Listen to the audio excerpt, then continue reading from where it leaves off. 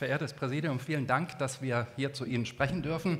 Was Sie jetzt erwartet, ist kein wissenschaftlicher Vortrag, sondern klassischer Anwenderbericht. Und da werden Sie sich fragen, warum müssen die dafür zu dritt da oben stehen für 15 Minuten? Das ist ganz einfach, weil wir die drei Generationen vertreten. Da gibt es den kritischen, lang erfahrenen Zahnarzt, der der digitalen Abformung mit rechtskeptisch gegenübersteht.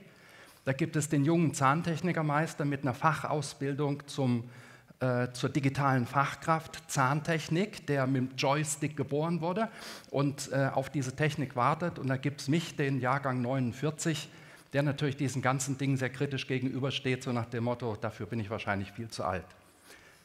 Habt ihr die Präsentation gestern Abend nochmal durchgeguckt? Nee. Okay. Dann müssen wir sie jetzt Hab durchschauen. Gedacht, dann müssen wir sie jetzt natürlich durchdiskutieren.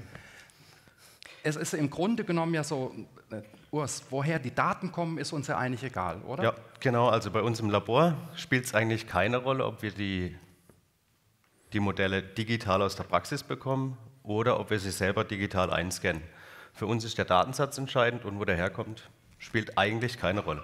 Ja, und das ist bei uns im Labor im Prinzip ganz genauso. Natürlich haben wir vor vielen Jahren die digitale Technik mit eingeführt, aber für dich in der Praxis natürlich schon noch fremd.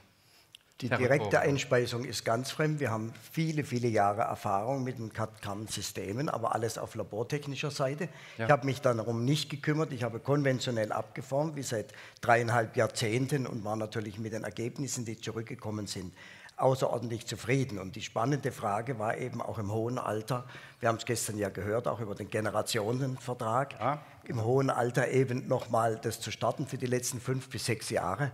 Und mich hat das fasziniert, eben zu schauen, wenn man unvoreingenommen an diese moderne intraorale Technik eben rangeht. Wir kennen ja noch die alte Altero-Technik eben, die wir damals probiert haben, die viel zu groß